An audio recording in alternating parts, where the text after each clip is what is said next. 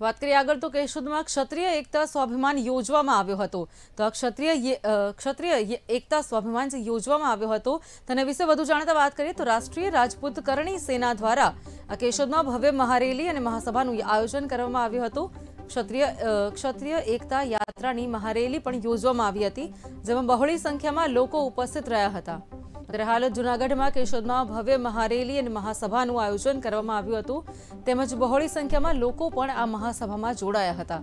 તો આવનારા આવા તમામ ભાઈ બહેનો, તમામ ભાઈ બહેનોએ માતાજીનો મહાપ્રસાદ પણ લીધો હતો અને કાર્યક્રમનું સમાપન કરવામાં આવ્યું હતું.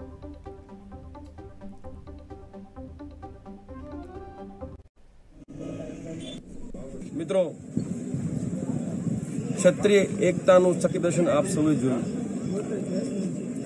શ્રી રાષ્ટ્રીય રાજપૂત કરણી સેના છેલ્લા ઘણા સમયથી ક્ષત્રિય એકતા યાત્રાના માધ્યમથી ગામડે ગામડે સમાજને એક કરવાનું કાર્ય કરી રહી છે. સંગઠનની રચના થઈ રહી છે, સમિતિનું ગઠન થઈ રહ્યું છે અને કરણીસેના પરિવારની સ્થાપના ગામડે ગામડે થઈ ચૂકી છે. અમારું પોતાનું કેડર તૈયાર થઈ ગયું છે. આપણે સૌ જાણીએ છીએ કે ઓગણીસો સુડતાલીસથી લઈને અત્યાર સુધી રાજકીય ક્ષેત્રમાં ક્ષત્રિય સમાજ સાથે અન્યાય થયું છે. રાજકીય કિન્નાખોરી થયું છે. આપણે સૌ જાણીએ છીએ, રાજકીય પાર્ટીઓ જાતિગત સમીકરણના આધારે ટિકિટોની વેચણી કરતી આવી છે. આ વખતે ક્ષત્રિય સમાજ ગામડે ગામડે ભેગો થયો છે.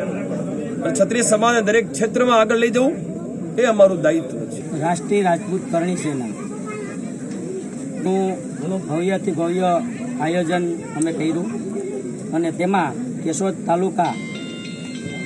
ચાંદીગઢ પાટીએથી કેશોદ ચારસો અને ત્યાંથી અમારા ગુરુ શ્રી બાલકસ્વામી બાપુના મંદિરથી આજે નાગલધામ સુધી ભવ્યથી ભવ્ય રેલીનું આયોજન કરેલ છે.